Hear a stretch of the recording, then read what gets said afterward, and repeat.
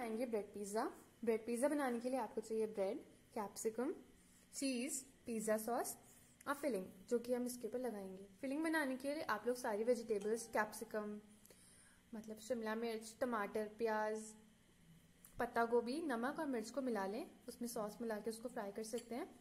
या फिर आप इनको कच्चा भी लगा सकते हैं. ब्रेड पे ब्रेड सॉस अब पहले हम ब्रेड पे पिज़्ज़ा सॉस लगाएँगे.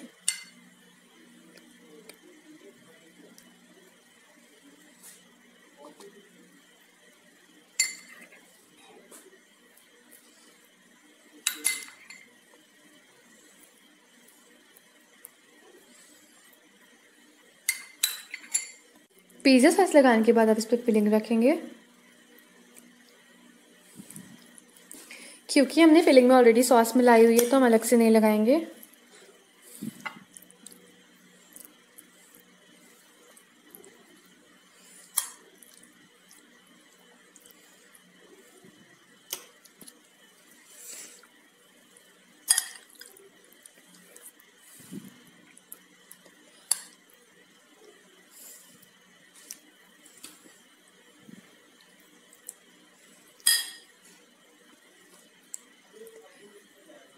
आप इस पर धनिया डाल सकते हैं, अगर आपको पसंद हो तो।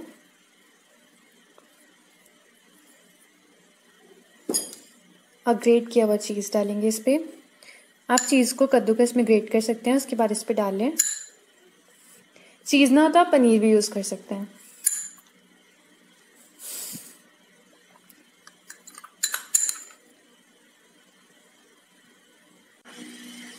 हमने ओवन ओटीजी को पहले से ही वन डिग्री पे प्रीहीट किया हुआ है। आप इसको बनाने के लिए ओटीजी या फिर कन्वेक्शन वाला माइक्रोवेव यूज़ कर सकते हैं। अब एक करके हम ये पिज़्ज़ा स्लाइस ब्रेड स्लाइस इसमें रखेंगे।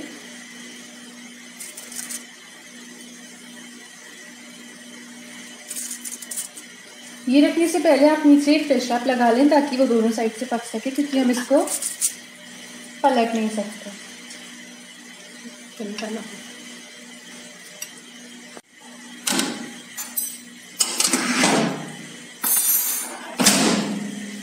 और इसे बंद करके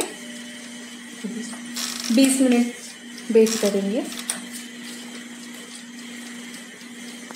अभी बन चुके हैं।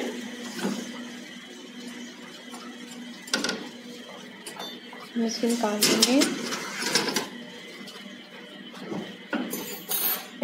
रेडी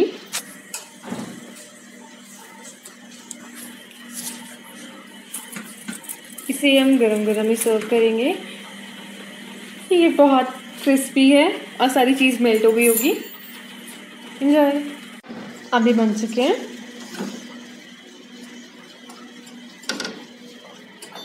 इसको निकाल देंगे रेडी